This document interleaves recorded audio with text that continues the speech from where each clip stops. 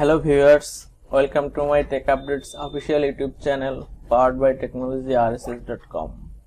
Hello, in this tutorial how to install PostgreSQL 15 on CentOS 7 server. This is my server information. Must be your server update and upgrade using yum command. Uh, my server is already updated using yum command. So now I run this rpm package for latest PostgreSQL the repo rpm package. And then install.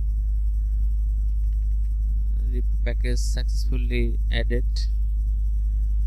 And then run this command for installation process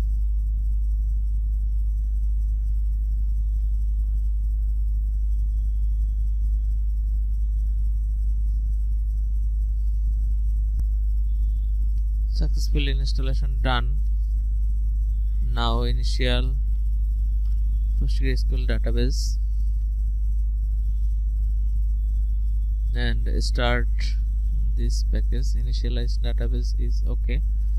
And start this package and enable this service. This is already done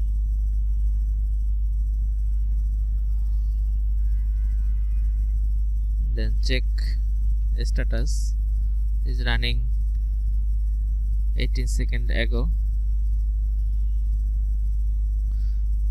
This is 15 version. Now set up PostgreSQL database password.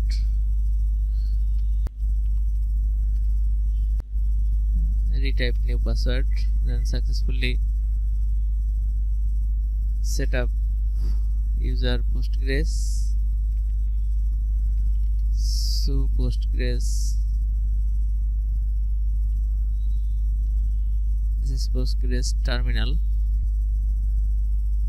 Then going to postgres terminal psql. Then exit and again exit